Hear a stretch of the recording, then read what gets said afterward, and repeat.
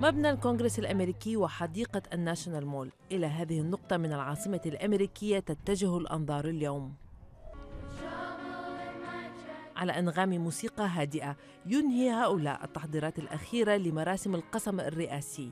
هم الآن يمثلون الدور الذي من المفترض أن يؤديه بعد ساعات معدودة الرئيس الأمريكي باراك أوباما شخصياً. قبل ذلك تبدو شوارع العاصمة الأمريكية هادئة نسبياً وإن كانت مظاهر الاحتفال المرتقب بادية هنا وهناك بين الشعارات والاستنفار الأمني وموجة الحماس السائدة في نفوس الأمريكيين وزوار واشنطن.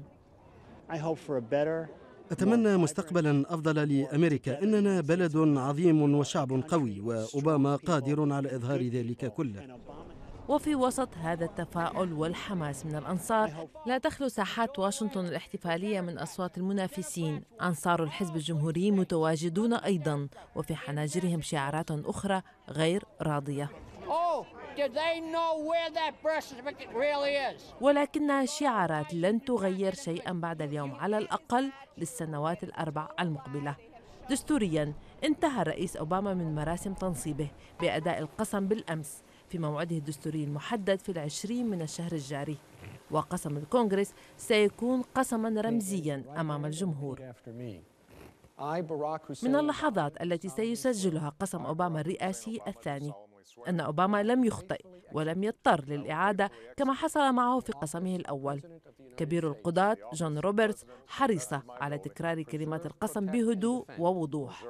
المراسم استغرقت دقيقة لا أكثر. من الكلمات التي قالها أوباما فور انتهائه من القسم أشكرك قالها لزوجته. ولقد فعلتها عبارة قالها لابنته الصغرى. وبهذه الكلمات وبهذه الصور التي جمعته لاحقا مع نائبه جو بايدن تكون واشنطن قد بدأت عمليا بخط صفحة جديدة في تاريخها صفحة رئيسها الرابع والأربعين.